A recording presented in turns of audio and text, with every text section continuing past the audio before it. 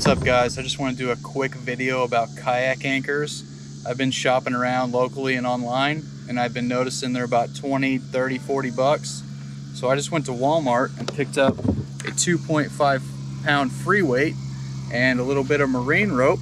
Cut this into a 20 foot section and tied it to the end of my free weight here and then daisy chained the rest of it so I can accurately measure the depth at which I want this weight to sit at and then at the end, I just got a climbing carabiner here to secure it to my kayak. And that's it. Cheap kayak anchor.